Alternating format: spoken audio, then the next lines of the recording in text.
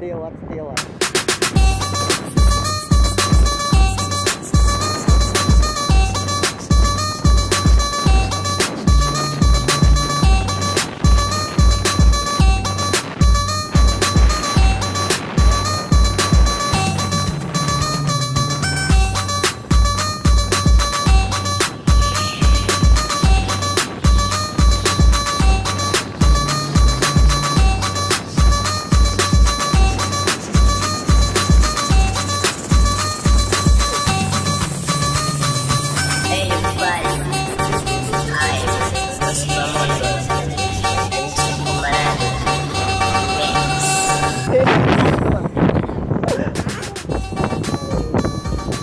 ba lần CA ba. Còn có gì nữa nhanh lại này.